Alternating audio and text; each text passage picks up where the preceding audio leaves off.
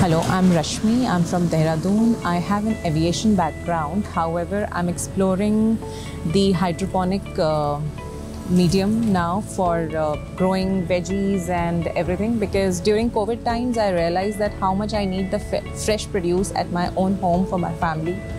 So this I found quite interesting and here I am to attend the Rise hydroponic workshop for two days.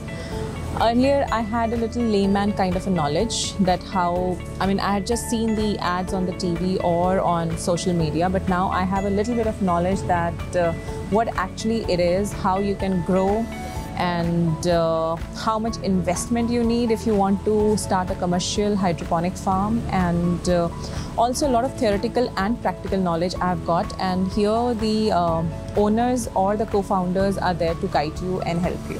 Thank you.